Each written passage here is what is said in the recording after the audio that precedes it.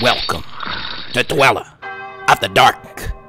We are a channel honoring the yellowed and blackened bones of many prominent authors.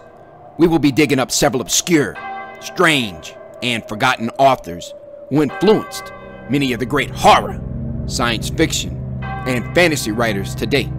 More tales of the horrifying, obscure, strange, and forgotten are climbing out of the tombs.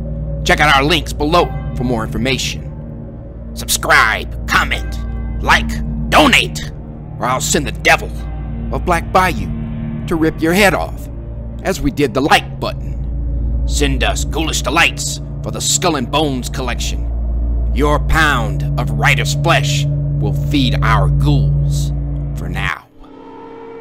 Children of Horror, Legion of Ghouls.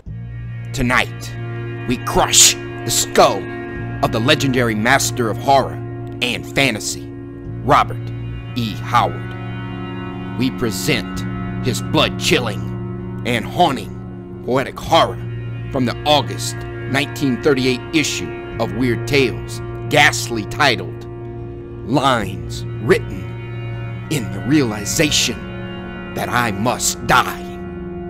What soul crushing demons could have plagued Howard's mind to create such devious verses?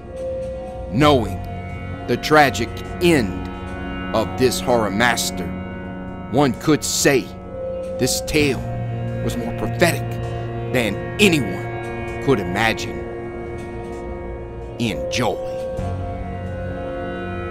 Lines written in the realization that I must die by Robert E. Howard.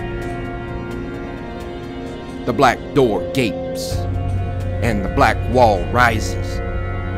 Twilight gasps in the grip of night. Paper and dust are the gems man prizes.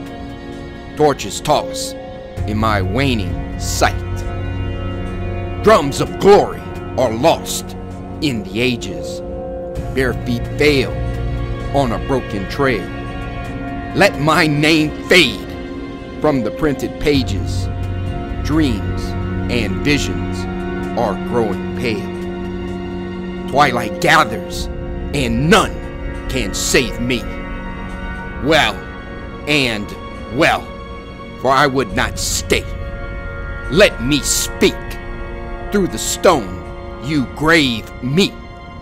He never could say what he wished to say. Why should I shrink from the sign of leaving? My brain is wrapped in a darkened cloud. Now, in the night, are the sisters weaving for me a shroud? Towers shake and the stars reel under. Skulls are heaped in the devil's fane. My feet are wrapped in a rolling thunder. Jets of agony lance my brain. What of the world that I leave forever?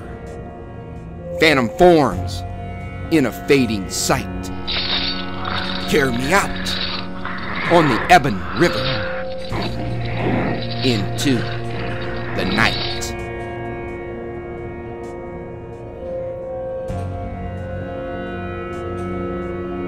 Thank you for listening. Have a great night.